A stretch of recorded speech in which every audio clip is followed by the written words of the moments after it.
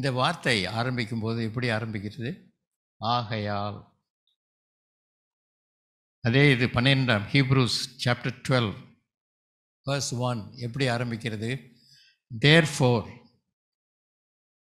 if a word starts with therefore you should ask you should ask the question wherefore ஆகையால் என்று சொன்னால் என்னத்தினால் என்று நம்ம கேள்வி கேட்க வேணும்.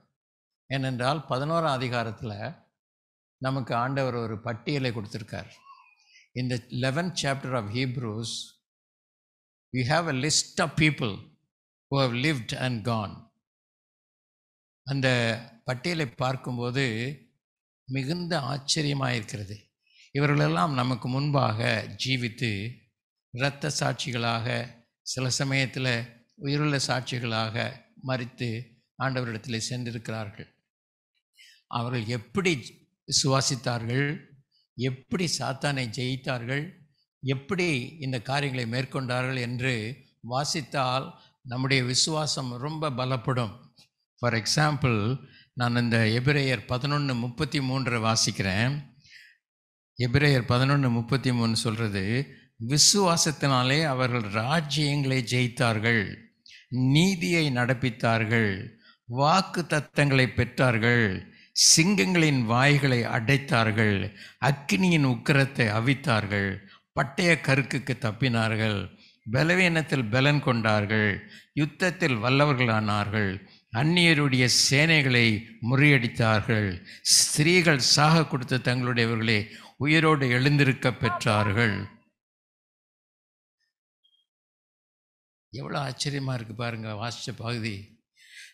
அதே இது நான் ஆங்கிலத்திலும் உங்களுக்கு வாசிக்கிறேன்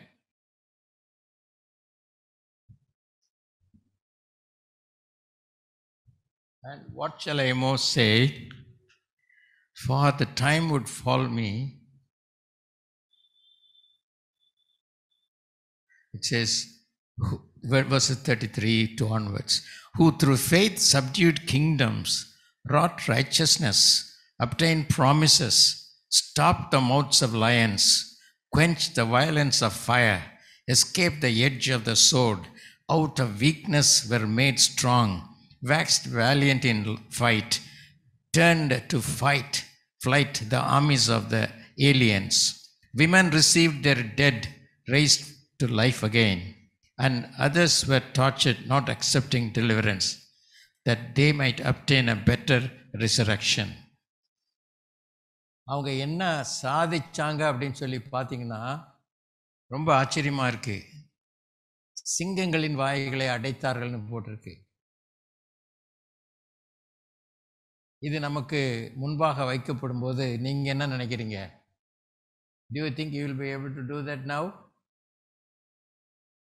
you must be and I must be able to do that if they can do it then you must be able to do it now ஸ்திரீகள் சாக கொடுத்த தங்களுடையவர்களை உயிரோடு எழுந்திருக்க பெற்றார்கள் by faith by faith they raised the children who are dead to life சாக கொடுத்தவர்களை உயிரோடு எழுப்பினார்கள் what a great blessing it is I have just read uh, only uh, two or three verses. The whole chapter is full of victorious people who lived and and achieved something great இந்த பதினேழாம் அதிகாரம் முழுவதும் பட்டியல் எப்படி இருக்குன்னா அவங்க விசுவாசத்தோடு ஜீவித்து பெரிய காரியங்களை செய்து அவர்கள் சாட்சியாய் மறித்தார்கள் அப்படின்னு சொல்லி நம்ம வாசிக்கிறோம். அந்த சாப்டர் முழுவதும் நீங்கள் எத்தனை பேர் ஒரு தடவையாவது வாசிச்சிருக்கீங்கன்னு தெரியல. நீங்கள் வாசிக்க இது வரைக்கும் வாசிக்கலைன்னா இன்றைக்கு போய் நீங்கள் வாசிக்க போகிறீங்க வீட்டுக்கு போன உடனே எப்ரேயர் பதினோராம் அதிகாரத்தை நீங்கள் மறுபடியும் வாசிக்க போகிறீங்க அதை வாசிக்க வாசிக்க வாசிக்க உங்கள் விசுவாசம் எப்படி பலப்படுதுன்னு பாருங்கள் ஏன்னா விசுவாசம் எப்படி வருது? கேள்வியினால் வரும். கேள்வி தேவனுடைய வசனத்தினால் வரும். அப்படின்னு தான் ரோமரில் நமக்கு எழுதி கொடுத்துருக்காரு. விசுவாசம் எப்படி வரும்? Faith comes by hearing and hearing by the word of God the more you hear the word of God your faith will become strong and you will be able to do the same things which they have done. And more than that. Hello கேக்குதா? நான் பேசுறது? அவங்க செஞ்சதை காட்டிலும் பெரிதானவைகளை. ஒரு வசனம் ஒரு பெரிய சேலஞ்சாக நமக்கு முன்னால் இருக்குது என்னன்னா ரோம் யோவான் சுவிசேஷம் பதினாலாம் அதிகாரம் பன்னிரெண்டாம் வசனம். வராமல் சொல்லுங்கள்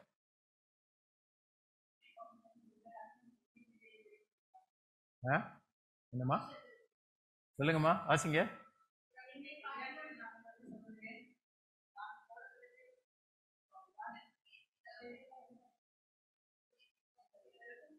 பரமேஸ்வரியுடைய சுவிசேஷத்தை நான் கேட்கல யோவான் சுவிசேஷத்தில் பதினாலாம் அதிகாரம் பன்னெண்டாம் வசனம் என்ன சொல்லுதுன்னு வாசிங்க பார்க்கலாம். கொஞ்சம் முதல்ல இருந்து வாசிங்களேன் அதான். ஆ நான் உங்களுக்கு ஆ.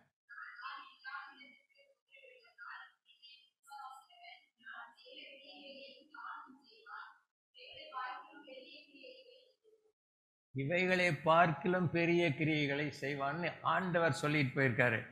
ஆண்டவர் பொய் சொல்வாரா? ஆ? ஆண்டவர் பொய் சொல்வாரா?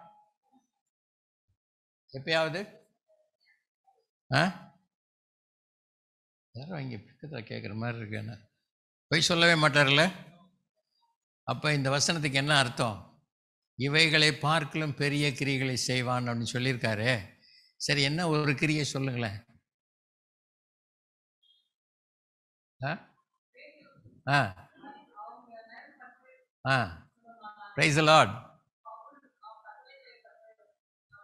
praise Lord amen ஆண்டவர் கூட அப்படி செய்யலை. ஆனால் சீஷர்கள் அப்படி செஞ்சு பெரிய காரியங்களை சாதித்தார்கள்னு நம்ம பார்க்குறோம் இவைகளை பார்க்கலாம் பெரிய. யாருக்கு இது சொல்லியிருக்காரு? விசுவாசிக்கிற அவருடைய பிள்ளைகளுக்கு. இப்படி தான் நம்ம ஜீவிக்கணும்னு ஆண்டவர் விரும்புகிறார். நம்ம வாழ்க்கை ஒரு தோல்வியின் வாழ்க்கை அல்ல. நம்முடைய வாழ்க்கை ஒரு வெற்றியின் வாழ்க்கை. இந்த இடத்துல நம்ம பார்க்குறோம் இதனாலே இப்போ நான் இது சொன்னதெல்லாம் எதுக்காக? இந்த முதல் ஆரம்ப வார்த்தைக்காக வேர் ஃபோர் அதுக்கு தான் இதெல்லாம் சொல்லியிருக்கேன். இனிமேல் தான் மெசேஜே ஆரம்பிக்குது. பார்த்துங்க wherefore seeing we are compassed about with so great a cloud of witness. இத்தனை சாட்சிகள் உங்களுக்கு முன்னால் வச்சுருக்குன்னு ஆண்டவர் சொல்கிறார் இந்த லிஸ்ட்டில் பதினேழாவது அதிகா பதி பதினொன்றாம் அதிகாரத்தில் கொடுத்துருக்க இந்த லிஸ்ட்டு பூரா நமக்கு அவர் சொல்கிறாரு இந்த இத்தனை திரளான மேகம் போன்ற இத்தனை திரளான சாட்சிகள் நம்மை சூழ்ந்து கொண்டிருக்க. அப்போ அவங்க பார்க்குறாங்க என்னடா சின்ன சின்ன காரியத்துக்கெல்லாம் விழுந்து போயிட்டு அப்படியே சோர்ந்து போய் கிடக்குறாங்களே? நம்ம என்னென்ன செஞ்சுருக்கோம்? நம்ம காலத்தில் என்னென்ன நம்ம அச்சீவ் பண்ணியிருக்கோம் விசுவாசத்தினால? ஆண்டவர் இயேசு உயிரோடு எழுந்த பிறகு அதை பாட்டிலும் பெரிய காரியங்களை செய்வா செய்வாங்கன்னு சொல்லியிருக்காரு. இவங்க என்ன இத்தனை இந்த தலைவலிக்கே விழுந்துட்டாங்க கீழே. இந்த சின்ன வயிற்று வலிக்கே அவங்க போய் சோர்ந்து போயிட்டாங்க. இந்த சின்ன பிரச்சனையை பார்த்த உடனே அவங்க விசுவாசம் எல்லாம் போயிடுச்சு. இப்படி இருக்கிறாங்களேன்னு சொல்லிட்டு அவங்க என்ன பண்ணுறாங்களா நம்ம பார்த்துக்கிட்டு இருக்காங்க இப்போ. அப்போ நம்ம என்ன செய்யணும்? இங்கே சொல்லி சொல்லியிருக்கு. பாரமான யாவற்றையும் நம்மை சுற்றி நெருங்கி நிற்கிற பாவத்தையும் தள்ளிவிட்டு. ரெண்டு காரியம் சொல்லியிருக்கு. என்ன ஒன்று பாரமான கார யாவற்றையும். ரெண்டாவது நெருங்கி நிற்கிற பாவத்தையும். இது ரெண்டையும் என்ன செய்யணுமா? ஆ? என்ன செய்யணுமா? தள்ளிவிட்டு. ரெண்டு காரியம். நான் ஒருவேளை நம்ம நம்ம ஈஸி லாங்குவேஜில் சொல்லட்டுமா? ஒன் இஸ் அட்ராக்ஷன்ஸ் இன்னொன்று டிஸ்ட்ராக்ஷன்ஸ் அப்படி எடுத்துக்கலாமா? There are certain things which attracts அது சரியான காரியம் இல்லை ஆனால் அதுதான் நம்மளை அட்ராக்ட் பண்ணுது. அப்புறம் இன்னொன்று டிஸ்ட்ராக்ஷன் நம்ம ஆண்டவருக்கு பிரியமாக நடக்கணும்னா இது நிறைய டிஸ்ட்ராக்ஷன்ஸ் வந்து தடைகள் வந்து நம்ம சிந்தையை கெடுத்து நம்ம யோசனையை கெடுத்து நம்ம நடக்கிறதை கெடுத்து கொண்டு இருக்குது இந்த ரெண்டும் நம்முடைய வாழ்க்கையில் என்ன செய்யுது? நம்ம முன்னேறி செல்லாதபடி நம்மை தடுத்து கொண்டு இருக்கு. One is attraction one is distraction அந்த பாவம்ன்றதை மாத்திரம் ஆங்கிலத்தில் சின்னு சிங்குலரில் போட்டிருக்கு.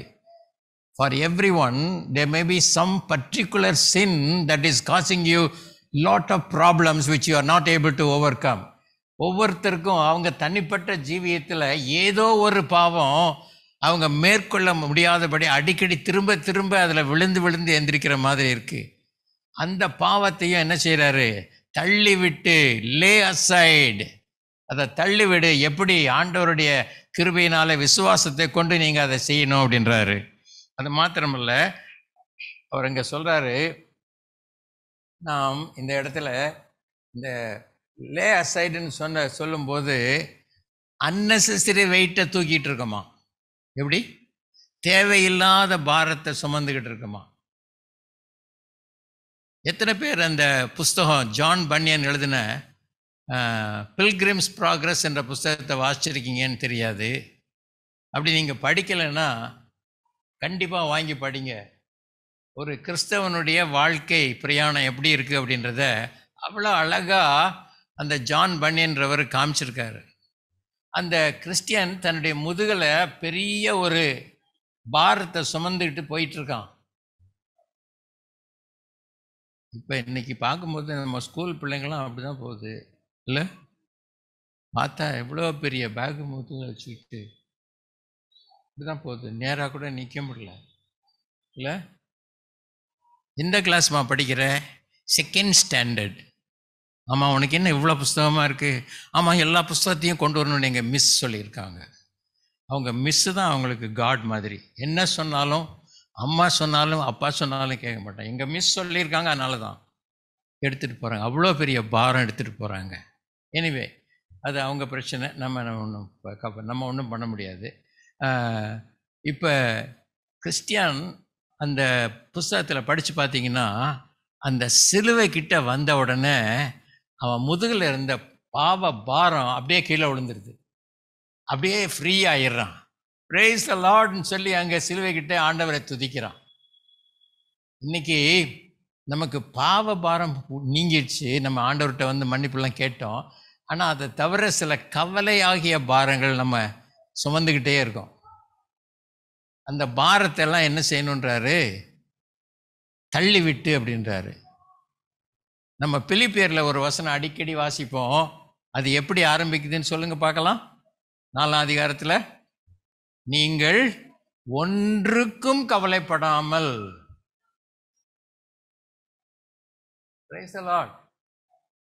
நாங்கள் அதுதாங்க செய்கிறோம் வேற ஒன்றும் நாங்கள் செய்யறதில்ல இல்லை?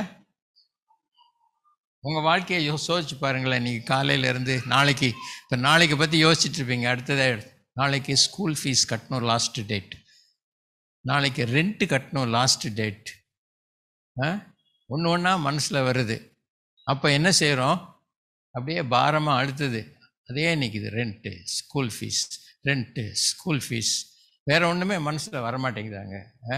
ஆனால் இங்கே என்ன சொல்லியிருக்காரு? பிலிப்பியர் நாலாம் அதிகாரத்தில் எழுதியிருக்கு நீங்கள் ஒன்றுக்கும் கவலைப்படாமல் எல்லாவற்றை குறித்து உங்கள் விண்ணப்பங்களை ஸ்தோத்திரத்தோடு கூடிய ஜெபத்தினாலும் வேண்டுதலினாலும் தேவனுக்கு தெரியப்படுத்துங்கள். அப்பொழுது எல்லா புத்திக்கும் மேலான தேவ சமாதானம் உங்கள் இருதயங்களையும் சிந்தைகளையும் கிறிஸ்து இயேசுவுக்குள்ளாக காத்துக்கொள்ளும். இந்த வசனம் ப்ராக்டிக்கலாக நம்ம வாழ்க்கையில் வந்தால் எவ்வளோ நல்லா இருக்கும்ல? எப்போ பார்த்தாலும் ஒரு பீஸ் எப்போ பார்த்தாலும் ஒரு சமாதானம் எப்பயும் நமக்கு ஒரு சந்தோஷம் இருக்கும். எப்போ? இந்த வசனத்தை கீழ்ப்படியும் போது தான் பார்த்துக்கிட்டு இருக்கும்போது இல்லை. ரொம்ப பேர் வசனத்தை பார்த்துட்டு இப்படி போயிடுறாங்க. அண்ணா பார்த்துட்டு போகிறது இல்லைங்க. செய்யணும். என்ன சொல்லியிருக்கோ அதை செய்யணும். ஆண்டவருக்கு ஸ்தோத்திரம். அப்புறம் அடுத்தது என்ன சொல்லியிருக்கு? நாம் இங்கே பார்க்குறோம். தள்ளிவிட்டு லே அசைடுன்னு சொல்லியாச்சுல்ல ரெண்டு காரியம். அட்ராக்ஷன்ஸ் அண்ட் டிஸ்ட்ராக்ஷன்ஸ் உங்களுக்கு என்னன்னு தெரியும் அது. ஏன்னா அன்னைக்கே ஏவாள் படத்தை புசிச்சிட்டாங்கல்ல. அதுலேருந்து நன்மை தீமை என்னன்னு தெரியும். அதனால் ஒன்று அட்ராக்ஷன் ஒன்று டிஸ்ட்ராக்ஷன் அதை தள்ளி விட்டு lay aside let us run with patient endurance நம்ம என்ன செய்யணுமா? ஓடணும்னு சொல்லியிருக்கு. அந்த வசனத்தில் பாருங்கள் நமக்கு நியமித்திருக்கிற ஓட்டத்தில் பொறுமையோடு ஓட கடவோம் அப்படின்னு சொல்லியிருக்கு.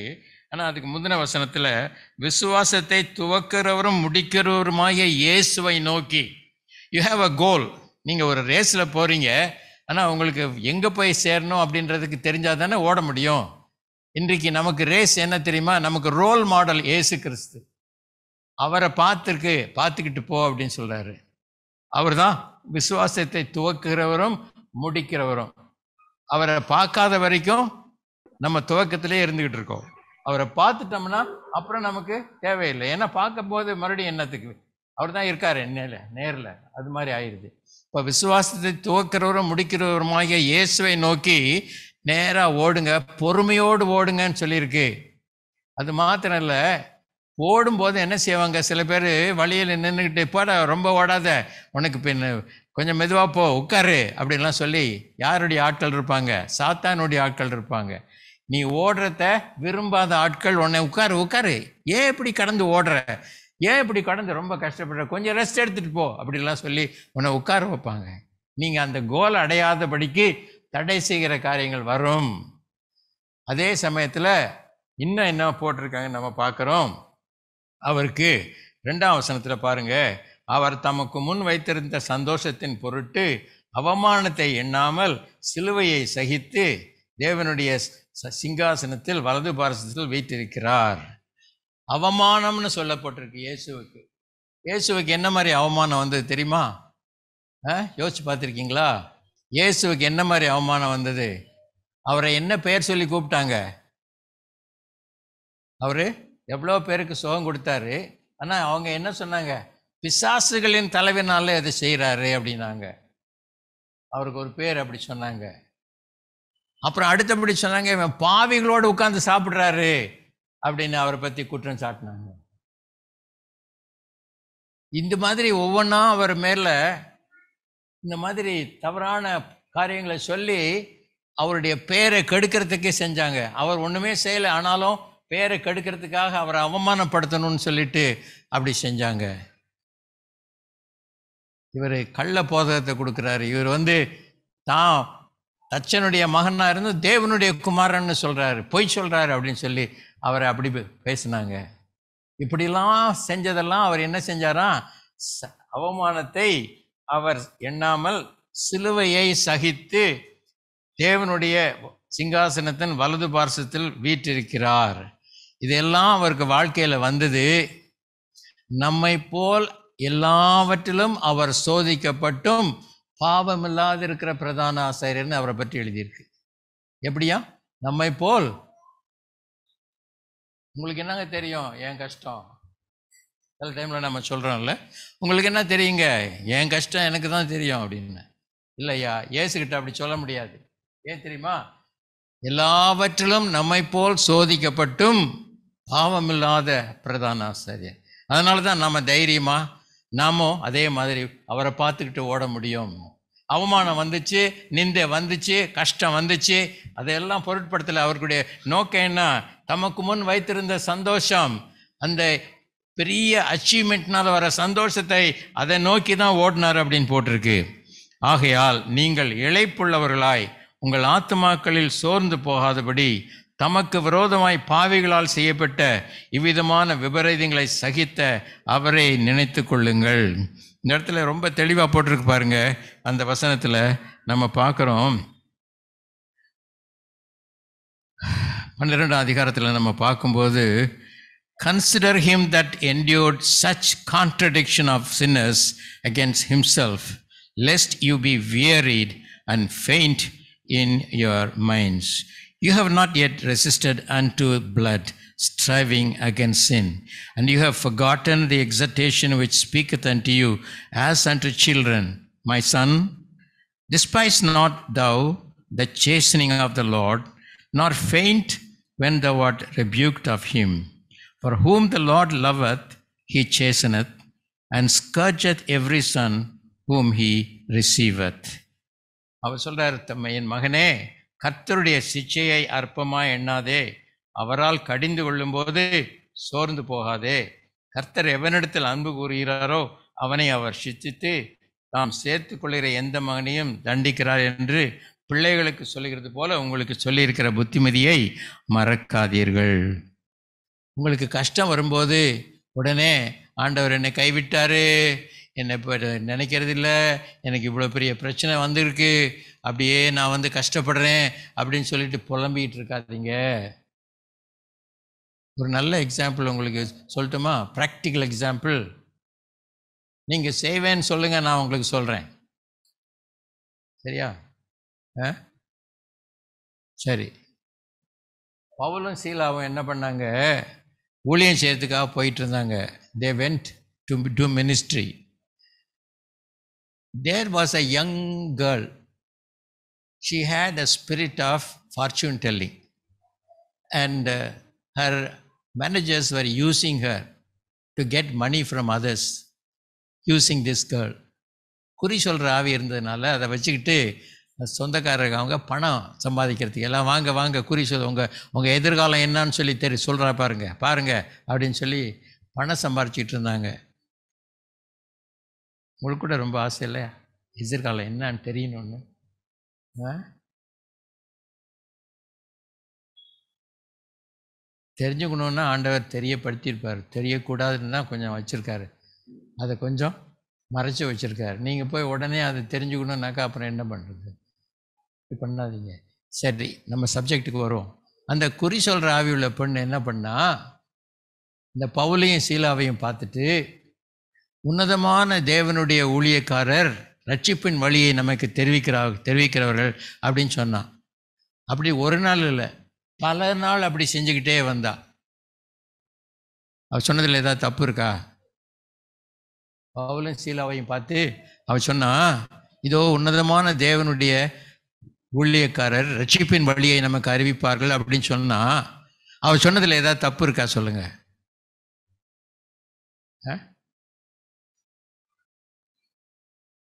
நம்ம சர்ச்சில் வர யாராவது அப்படி சொன்னால் என்ன பண்ணுவீங்க? லேடிஸ் குரூப்புக்கு ஹெட்டாக வச்சு வச்சுருவீங்க. லேடிஸ் குரூப்புக்கு ஹெட்டாக வச்சு நான் சொல்லுங்கள் சிஸ்டர் அப்புறம்? ஆனால் அங்கே கிரியை செய்து என்னது? அசுத்த ஆவி. ஒரு குறி சொல்கிற ஆவி. அதை பவுல் பார்த்துக்கிட்டே இருந்து ரொம்ப நாள் இவ இப்படி சொன்னதுனால இரிட்டேட் ஆகி ஒரு நாள் சொல்லிட்டாரு இயேசுவின் நாமத்தில் இந்த அசுத்தாவி விட்டு புறப்பட்டு போ அப்படின்னாரு. போயிடுச்சு. போன உடனே குறி சொல்கிற அந்த சக்தி அவளுக்கு போயிடுச்சு. உடனே அவங்க எஜமான் என்ன பண்ணாங்க? தங்களுக்கு பணம் வர்றதை கெடுத்துட்டானுங்க. இவனுங்க வந்து இவங்களை எப்படியாவது தண்டிக்கணும்னு சொல்லி அவங்கள கொண்டு போய் அதிகார இடத்துல ஒப்படைச்சு அவங்கள இந்த மாதிரி பயங்கரமாக நம்ம நமக்கு விரோதமாக கிரியை செய்கிறான் நம்ம ரூ என்னென்ன சொல்ல முடியுமோ அவளையும் சொல்லிட்டாங்க. அவரும் அவங்களும் அதிகாரிகளும் என்ன பண்ணாங்க? அவங்கள என்ன பண்ணி கொஞ்சம் அடித்து இது பண்ணி என்னடா பண்ணீங்க? அப்படின்னு சொல்லிட்டு இவங்க அது வரைக்கும் பேசாமல் இருக்காங்க. அடி வாங்கிக்கிட்டாங்க. அதுக்கப்புறம் ஒரு சிறைச்சாலை தலைவங்கிட்ட போய் மோஸ்ட் செக்யூர் பிரிசன் இருக்குல்ல அங்கே கொண்டு போய் இவங்கள வை. இவங்க ரொம்ப டேஞ்சரஸ் பீப்புள் அப்படின்னு சொல்லி அந்த இன்னர் மோஸ்ட் செக்யூர் பிரிசனில் காலில் கழுமரத்தை தொழுமரத்தை கட்டி அவங்கள வெளியே நடக்க முடியாதபடி வச்சு உள்ளே வச்சுருங்க அப்படின்ட்டாங்க. எல்லாம் அப்படி பண்ண பிறகு நடுராத்திரி. எங்கே பார்த்தாலும் ஒரே இருட்டு. வெளிச்சமே இல்லை லைட் இல்லை.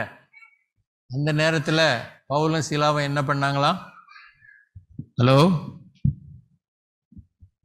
அவங்க அம்மாவை நினச்சி அழுதுகிட்டு இருந்தாங்களா? அவங்க அப்பாவை நினச்சி அழுதுகிட்டு இருந்தாங்களா? அவங்க என்ன செஞ்சாங்கன்னு போட்டிருக்கு தெரியுமா? ஜபம் ஆ? ஜெபம் பண்ணி துதித்து பாடினார்களாம். உங்களுக்கு முடியுமா? உடம்பு பூரா காயம். காயத்தை கட்டக்கூட இல்லை. கால் ரெண்டையும் தொழு மரத்தில் மாட்டி வச்சுருக்காங்க. இவங்க ஏதோ தப்பு செஞ்சாங்களா? இல்லை ஒரு அசுத்தாவியை துரத்திட்டு வந்திருக்காங்க. அவ்வளோதான் பண்ணாங்க.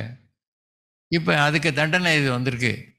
ஆனால் என்ன பண்ணுறாங்க தேவனை துதித்து பாடுறாங்களாம்.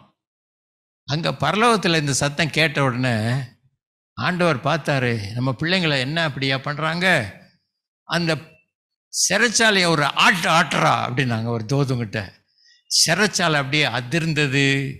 சிறைச்சாலை கதவெல்லாம் திறந்துருச்சு. கைதிகள் எல்லாருடைய கையில் இருந்த விலங்கும் கீழே விழுந்துருச்சு. இதை பார்த்த உடனே சிறைச்சாலை தலைவன் ஐயோ இவங்கெல்லாம் வேடி ஓடி போனால் என்ன தானே பிடிப்பாங்க?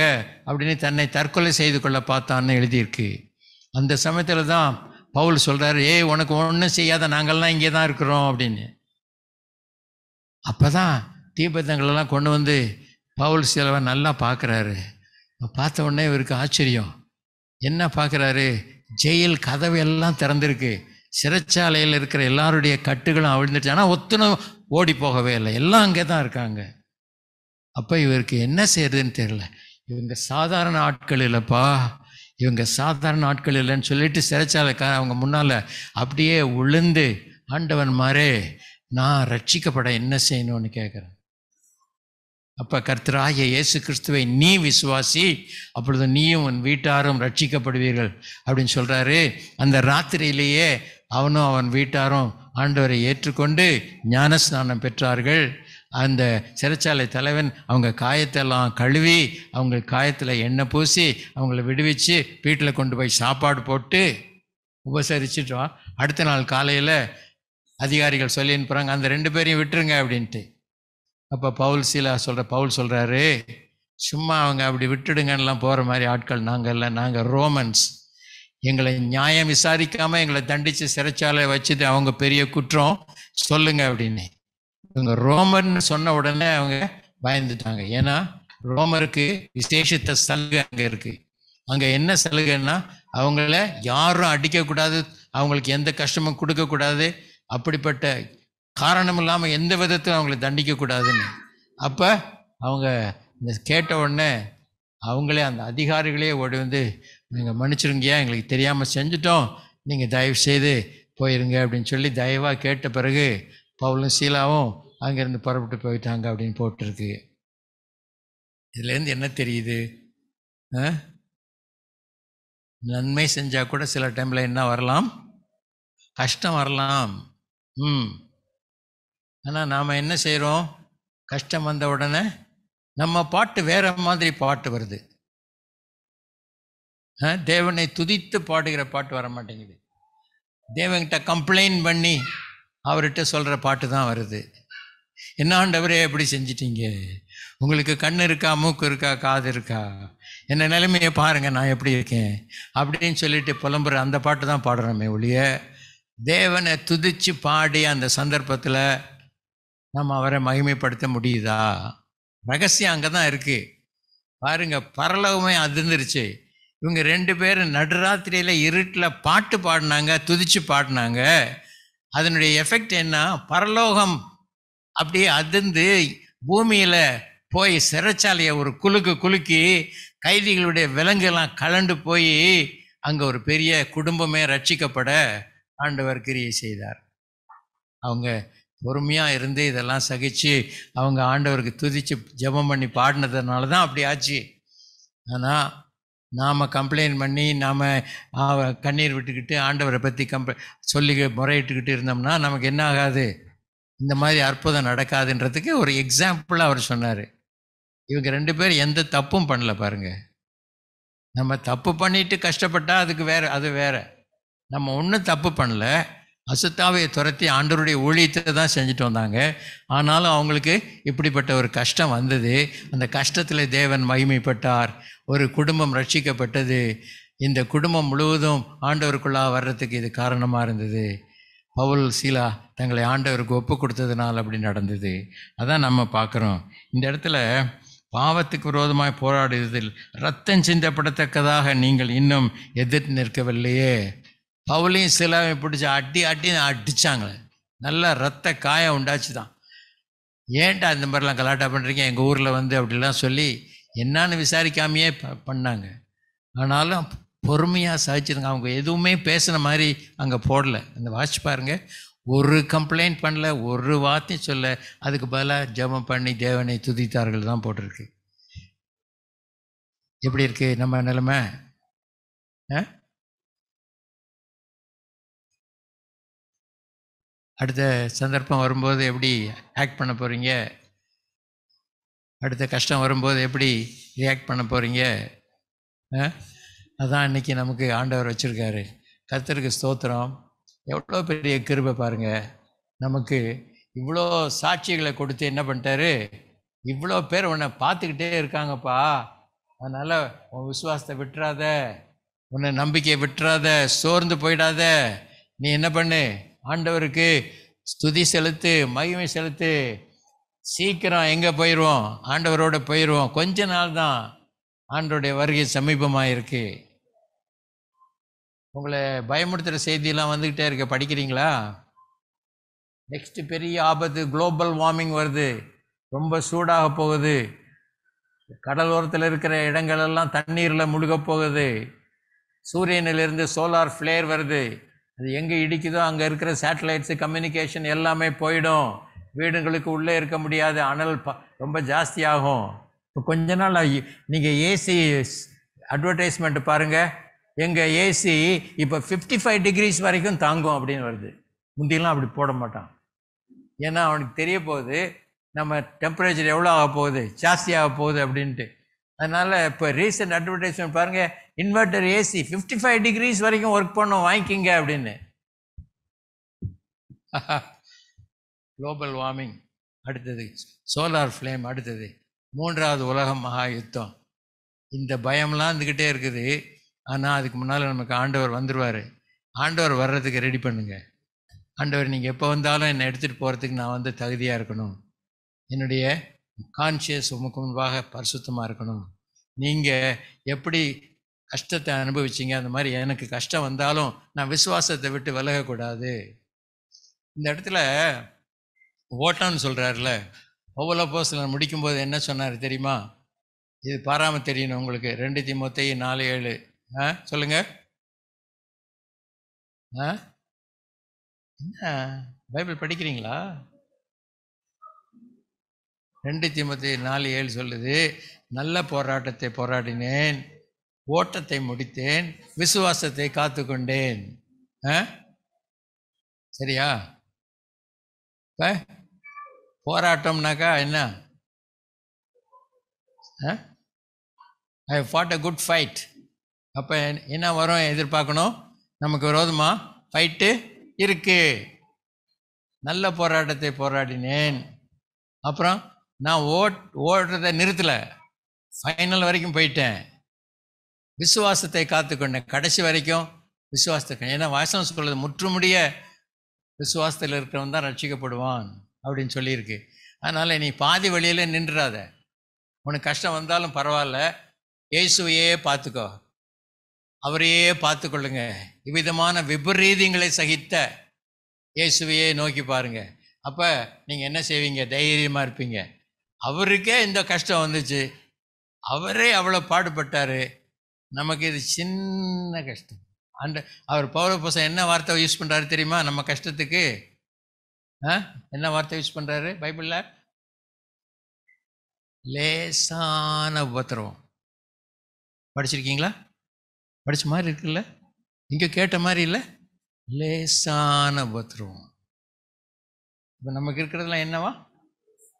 லேசான உபத்திரவம்.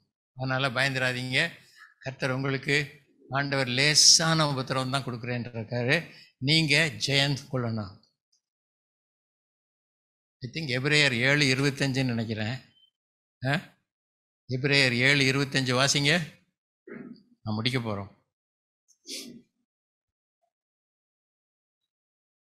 தமது மூலமாய் தேவனிடத்தில் சேருகிறவர்களுக்காக வேண்டுதல் செய்யும்படி அவர் எப்பொழுதும் உயிரோடு இருக்கிறவையால் அவர்களை முற்றுமுடிய ரட்சிக்க வல்லவராயிருக்கிறார். என்னை ரட்சிக்க வல்லவராயிருக்கிறார். சொல்லுங்க. என்னை மு என்னை முற்றுமுடிய ரட்சிக்க வல்லவராயிருக்கிறார். சரியா கேட்கலைங்க என்னை ஆமேன். இன்னும் ஒரு தடவை சொல்லுங்களேன். என்னை ஏன் தெரியுமா? அவர் எனக்காக வேண்டுதல் செய்து கொண்டே இருக்கிறார். அவர் எப்பொழுதும் உயிரோடு இருக்கிறபடியால் அவர் எனக்காக வேண்டுதல் செய்து கொண்டே இருக்கிறார்.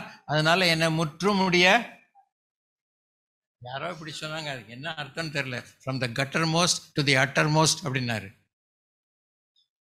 From the guttermost to the uttermost நம்ம அந்த கட்டரில் இருந்த நம்ம தூக்கி எடுத்து இன்னைக்கு ஆண்டவர் கடைசியில் அந்த உன்னத ஸ்தானத்தில் பிதாவின் வலது பார்சத்தை அவர் பக்கத்தில் உட்கார வைக்க போகிறாரு ஆமேன். அதுக்கு தான் நம்மளை ரெடி பண்ணியிருக்காரு. ரெடியா போவீங்களா? ஆ? போவீங்களா என்னம்மா பதிலே சொல்ல மாட்டேங்கிறாங்க இப்போ. ஆ? போவீங்களா? ஓடுவீங்களா ஓட்டத்தை முடிப்பீங்களா? சக்ஸஸ்ஃபுல்லா அதனால தான் அவர் சொல்கிறாரு ஆண்டவர் நமக்காக என்ன செஞ்சிட்டு இருக்காராம்? உயிரோடு இருக்கிறபடியால் நமக்காக வேண்டுதல் செய்து கொண்டே இருக்காராம். அதுக்கப்புறம் என்னங்க பயம்? கர்த்தர் எனக்கு பட்சத்தில் இருந்தால் எனக்கு விரோதமாக இருப்பவன் யார்? அப்படி சொல்லணும். ஆ? சரியா ஜெபிக்கலாமா? அல்லேலூயா ஸ்தோத்திரம் ஆண்டவரே. ஆண்டவரே உம்முடைய வசனத்துக்காக நன்றி செலுத்துகிறோம். எங்களுக்கு முன்பாக எங்கள் ஆண்டவராக இயேசு கிறிஸ்து ஒரு ரோல் மாடலாக கஷ்டத்தை சம சகித்து அவமானத்தை நிந்தையை எல்லாம் பொறுத்து ஆண்டவரே சிலுவையில் எங்களுக்காக தம்முடைய ஜீவனை கொடுத்து எங்களை மீட்டு கொண்டதற்காக நன்றி செலுத்துகிறோம். இப்பொழுது எங்களுக்கு இருக்கிற சின்ன சின்ன ஆண்டவரை உபத்திரவங்களில் நாங்கள் சோர்ந்து போகாதபடி எங்கள் ஆண்டவரையே நோக்கி பார்த்து எங்கள் விசுவாசத்தை துவக்கிறரும் முடிக்கிறமாறு அவரை நோக்கி பொறுமையோடு ஓட எங்களுக்கு உதவி செய்தருளும். ஆண்டவராக இயேசு எப்படி ஜெயித்து பிதாவின் சிங்காசனத்தில் வலது பக்கத்தில் உட்கார்ந்தது போல நாங்களும் அவரோடு கூட உட்காரும்படி கிருபை செய்தருளும். எங்களை முற்றுமுடிய ரட்சிக்க கிருபை செய்தருளும்படியாக ஜெபிக்கிறேன். இயேசு கிறிஸ்துவின் நாமத்தில் வேண்டிக் கொள்கிறோம். நல்ல பிதாவே. ஆமேன். ஆமேன்.